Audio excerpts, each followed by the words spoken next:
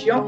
நாளானிக்குல இருந்து உங்களை இதை அஃபீஷியலா எல்லா உரிமையோட போடுறதுக்கு உங்களுக்கு அலோவ் பண்ண போகுது so I am having the complete rights நாளைக்கு ஈவினிங்ல இருந்து உங்களுக்கு going day guys so remember